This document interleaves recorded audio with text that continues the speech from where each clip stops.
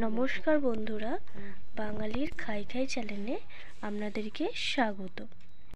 আজকে একটা নতুন ধরনের রেসিপি আপনাদের সাথে শেয়ার করতে চলেছি মচার চপ।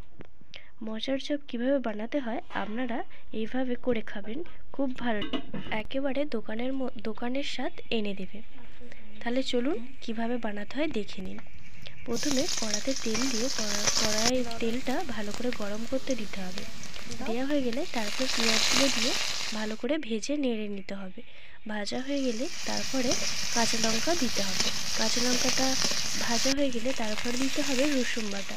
রসুনটা ভালো করে ভাজা হয়ে গেলে দিতে হবে আদা বাটা। আদা বাটাটা ভালো করে দেওয়া হয়ে গেলে ভালো করে একটু ভালো করে ভেজে দিতে হবে। মচাটা ভালো করে আগে সেদ্ধ করে নিতে হবে। সেই মচার সেদ্ধটা দিয়ে দিতে হবে। ভালো করে নাড়াচাড়া হয়ে গেলে তারপরে দিতে হবে হলুদ লঙ্কা গুঁড়ো।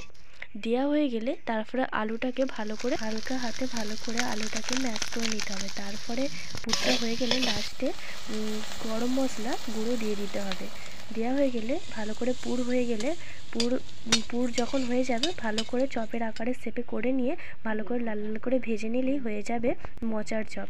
কীভাবে বানাবেন তাহলে দেখে নিলেন, এইভাবেই তাহলে চটজলদি সন্ধ্যাবেলায় বা নেবেন। তাহলে সন্ধ্যার আড্ডাটা খুব ভালোই জমে যাবে। আপনারা এরকম আরও সুন্দর সুন্দর রেসিপি পেতে চ্যানেলটিকে সাবস্ক্রাইব করে রাখবেন। ধন্যবাদ, বন্ধুরা।